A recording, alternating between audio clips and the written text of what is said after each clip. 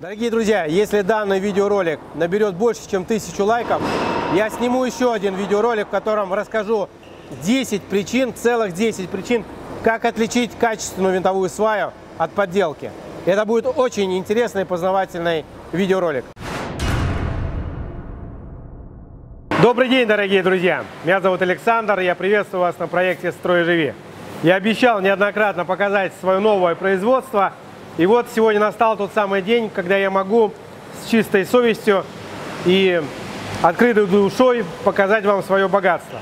За моей спиной цех, это цех отапливаемый общей площадью 3600 квадратных метров. Мы его условно разделили пополам.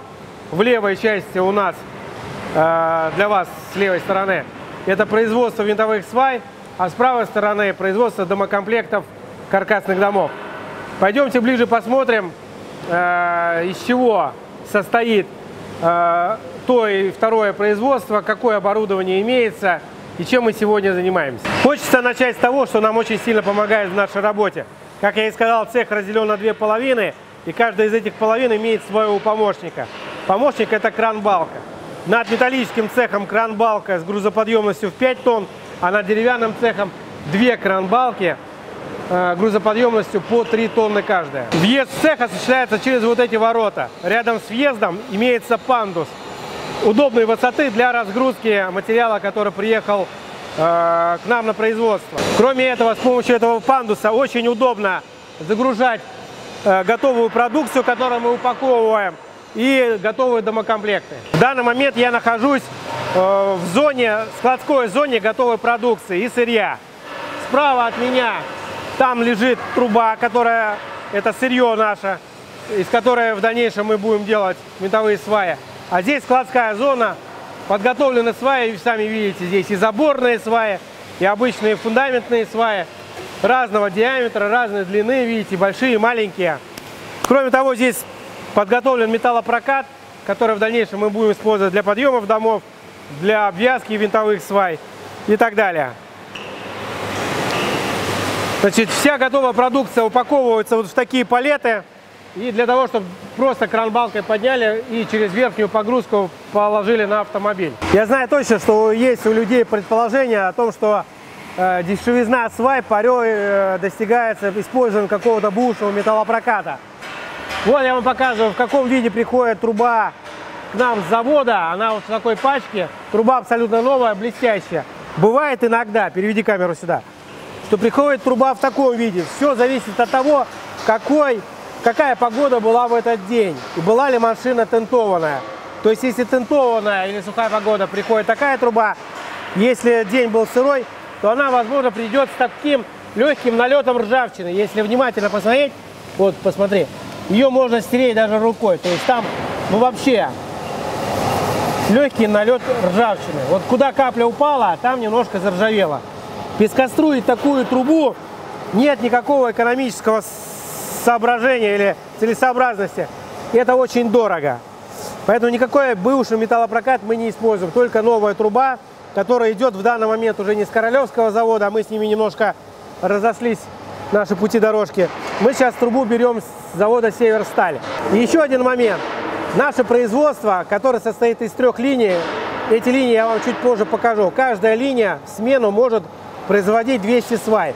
Три линии – это 600 свай. Если включить еще ночную смену, а у нас одна линия в ночь уже работает, это получается 1200 свай. 1200 свай в сутки может производить наше производство. Если взять длину, стандартную длину сваи 2,5 метра умножить на 1200, это получается 3000 метров такой трубы. 3 километра трубы Скажите, пожалуйста, где можно найти в Ленинградской области, да блин, во всей России, ты не найдешь такое количество бушной трубы. А если это еще умножить на месяц, 3 умножить на 30, получается 90 километров трубы мы можем перерабатывать в месяц. Где, скажите, какой трубопровод надо разобрать для того, чтобы получить такое количество бушной трубы? Поэтому не слушайте байкам бушную трубу или некондиционную трубу могут использовать только гаражные производства, где они купили, где-то оторвали пару тонн трубы, сделали из них там 50-70 свай и продали подешевле. производство такого масштаба, как у нас, бушную трубу использовать просто не может. Продолжаем экскурсию по нашему производству. По-прежнему продвигаемся по э, складской зоне. Здесь у нас хранятся оголовки, которые э, делаются для различных диаметров свай. И вот, кстати, вашему вниманию есть вот такой стенд, который мы подготовили. Это выставочный стенд. Он покрыт такой же краской, которую мы используем на производстве. Здесь нет никакой показухи, реально как все есть. Здесь сваи 108, 89, 76 и 57 миллиметров в диаметре. И две сваи заборные. Вот они в таком миниатюрном виде. Это выставочный образец для того, чтобы э, предоставлять его какие-либо базы строительные, торговые где можно было бы торговать этими сваями под заказ. Значит, заборные сваи, здесь профиль 80 на 80, труба 76 и профиль 60 на 60 с профилем э, с трубой 57 мм в диаметре. Кроме трубы в своем производстве мы применяем в качестве сырья еще и горя горячий катанный лист для изготовления лопасти для винтовых свай. Значит, сталь 3 очень часто спрашивают, у нас и труба, и лист, используется сталь 3. То есть э, в качестве сырья у нас есть всего два материала. Это труба и лист. Все остальное мы делаем самостоятельно. Лист кладется на стол плазменной резки и вырезаются лопасти, две половинки по определенному шаблону определенной формы. После работы плазменного стола у нас получаются вот такие листы с вырезанными лопастями. Значит, мы этот лист, у нас два пути. Либо мы его сдаем в металлолом на переработку, либо мы его продаем. Очень часто у меня берут этот лист для монтажа заборных секций. Очень удобно. Стоимость такого листа примерно 600 рублей. После э, плазменного стола лопасти попадают на этот стенд, где они укладываются в зависимости от диаметра. Как вы, наверное, догадались, у каждого диаметра сваи свой диаметр лопасти. Дальше оператор пресса берет эти лопасти и гнет их на прессе придавая им определенную форму. Ваше внимание на то, что лопасть винтовой сваи обязательно должна состоять из двух половинок, которые свариваются между собой. Почему из двух половинок? Потому что невозможно лопасть полтора оборота вырезать из цельного куска железа. Поэтому из двух половинок. Некоторые недобросовестные производители винтовых свай на этом деле экономят и вырезают такие кругляшки, а потом их просто разгибают. На самом деле Э, грунт вокруг такой лоп лопасти уплотняется намного хуже и меньше, чем вокруг такой. Остерегайтесь подделок. Значит, лопасти после того, как на прессе их согнули, свариваются вот в такую единую конструкцию. А дальше уже мы переходим на линию изготовления конуса винтовой сваи и приварки вот этой самой лопасти. Пойдемте. Для того, чтобы сформировать правильный конус у винтовой сваи, чтобы он был ровный, острый и ось носика этой сваи э, конуса совпадала с осью самой сваи, самой трубы, нужно подготовить вот такую деталь. Ее можно приготовить несколькими способами. На некоторых производствах просто берется болгарка и вырезаются такие треугольники. Какое качество от такого реза вы сами можете догадаться. На более продвинутых э, предприятиях производства питовых свай этот треугольник вырезается ручной плазмой. То есть человек садится и просто вырезает. Но там тоже рука дрожит. И какого качества более-менее оно приемлемое, но все же. Мы пошли другим путем. Э, у нас имеются вот такие труборезы, которые э, подключены к э, ЧПУ и вырезают абсолютно точные детали. В результате работы трубореза получаются вот такие заготовки из цельной трубы. Итак, что такое труборез? Давайте я вам покажу. Это вот такая направляющая 13 метров длиной, которой подключен источник плазменной резки, который в свою очередь подключен к ЧПУ. То есть задается программа, которая устанавливает и показывает, какой длины должна быть заготовка, какой диаметр э, трубы. И уже под присмотром, конечно же, оператора труборез вырезает вот такие изделия. Для подачи трубы на труборез мы изготовили вот такой стол мощный, на который кран-балка кладет пачку с трубой. В очередной раз убедитесь в том, что труба у нас новая, не бэушная. И оператор уже кладет эту трубу э, на труборез. Сначала один конец, потом второй конец. Несмотря на то, что вес такой трубы больше 150 килограмм, 156, если я не ошибаюсь, то один человек вполне с этим справляется. Один конец, потом второй конец. Вот так очень легко один человек может трубу весом 156 килограмм поднять и положить на труборез.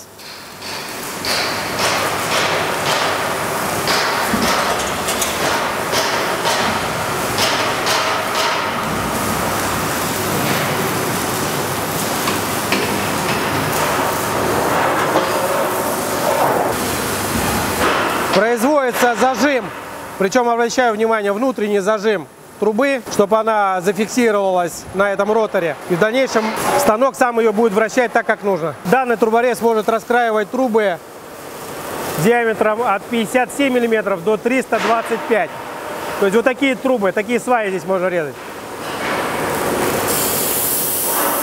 Так же, как и наш робот, этот станок разработал конструкторский отдел нашей компании во главе с исполнительным директором Виталием Арнаутовым. Чтобы вы понимали, оператор ногами просто прижимает трубу к кроликам, которые внизу. Не думайте, что он ногами крутит эту трубу. Трубу крутит ЧПУ.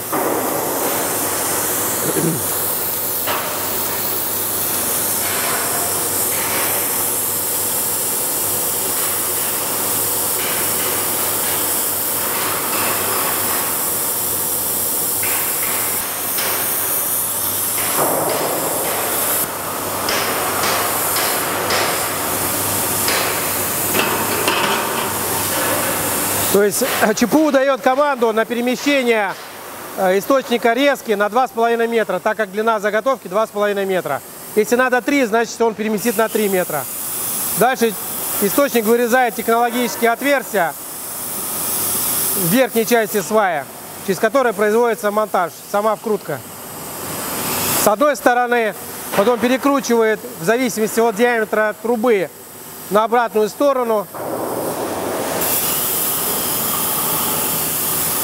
Роль оператора во всей этой истории – контроль за работой станка. Мало ли какой-то сбой, погрешность, чтобы не испортить трубу. Все, отступил немножко. Ну не немножко, там 5 сантиметров. Произошел обрез заготовки и подготовка следующего технологического отверстия на следующей заготовке. Вот такой раскрой трубы, которая э, вот эти острия конуса входят друг в друга, позволяет экономить по длине трубы, если мне не изменяет память, 34 сантиметра. 17 и 17, да. 34 сантиметра трубы экономится. А вместо того, чтобы просто 2,5 трубу оттяпать и болгаркой вырезать такие розочки. Обращаю внимание на еще такую технологическую особенность нашего трубореза. Это уж точно додумался до этого только наш конструкторский отдел. Значит, труба перемещается на труборезе на таких роликах, что позволяет без изменения каких-либо шаблонов использовать на данном труборезе друг за другом разные диаметры труб. То есть любую сюда можно положить, 157-ю, что 108-ю, что 325-ю. Никаких шаблонов при этом менять не нужно. Вот этот источник создает такую плазменную струю, которая режет металл толщиной в 4-5 миллиметров. Легко. Таких труборезов у нас два. Один слева от меня, другой справа от меня. Видно, да? Эти два трубореза своей производительностью обеспечивают такими заготовками три линии сварщиков, которые за спиной оператора. То есть линия изготовления винтовых свай состоит из ряда постов. Первый пост – это изготовление таких заготовок, с которой справляется труборез и его оператор.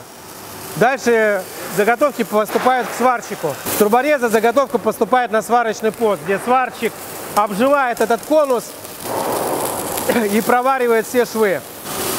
Вот так вот твердой мужской рукой мы добиваемся точности создания конуса у винтовой сваи.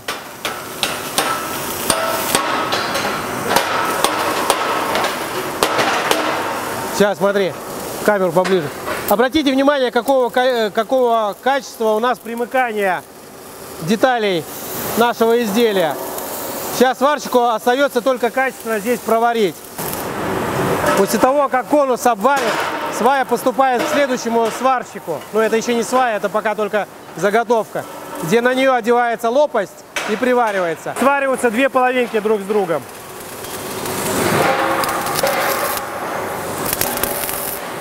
Сначала прихватили, потом обварили.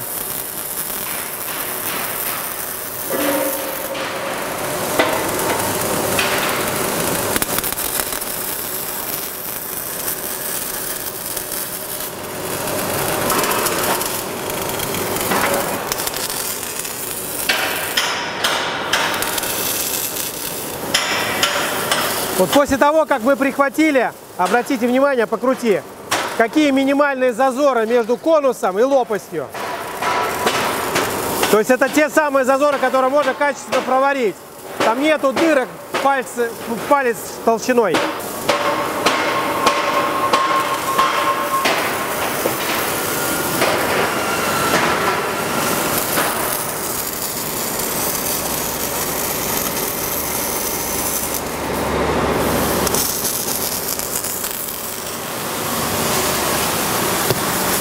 После того, как свая сварена, ее передают на следующую линию. Это покрасочная линия.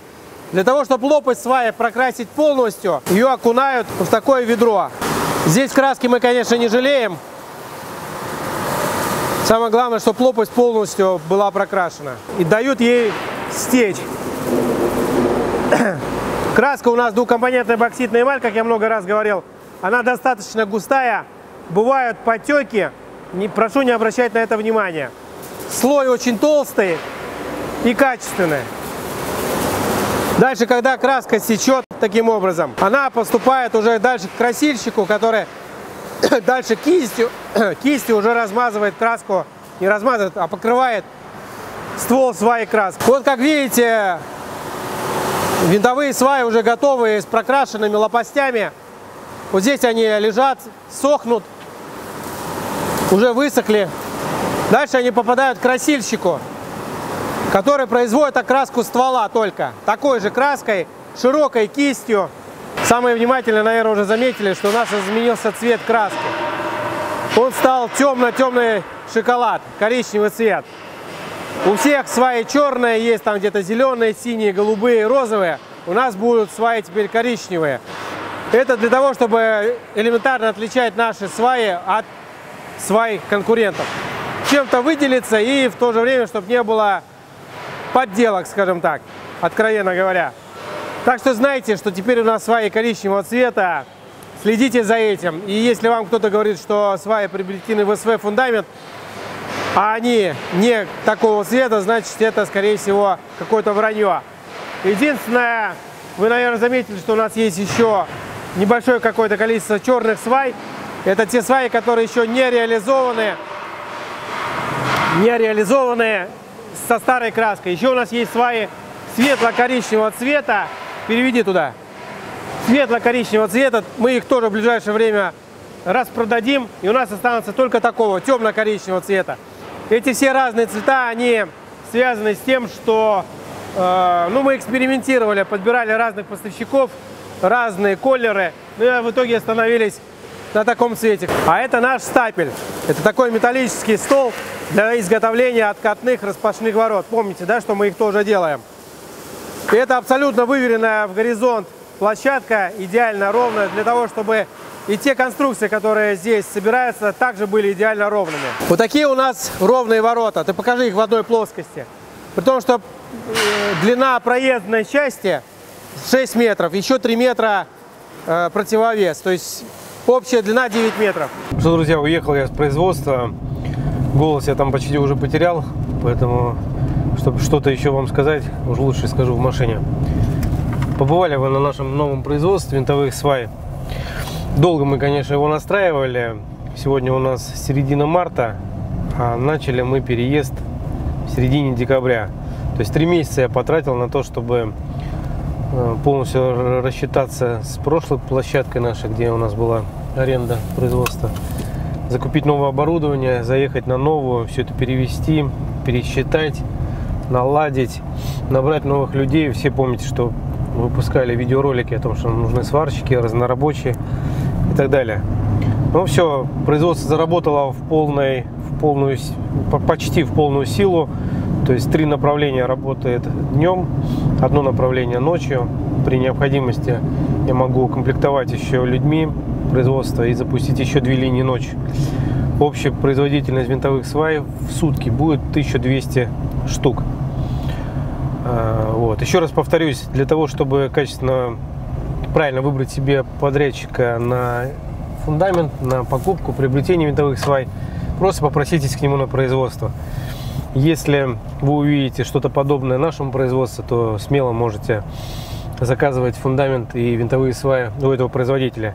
Если это будет какой-то гараж, в котором э, будут вариться сваи непонятной, конфигурации из металлопроката явно бушного или некондиционного, то, конечно, стоит, скорее всего, от такого производителя отказаться. Надеюсь, это видео будет всем полезным, поэтому ставьте пальцы вверх, подписывайтесь на наш канал, вступайте в нашу группу ВКонтакте, ВКонтакте подписывайтесь на Инстаграм, у нас есть группа в Одноклассниках. Ну и с вами сегодня был Александр, наше производство компании «Свой фундамент».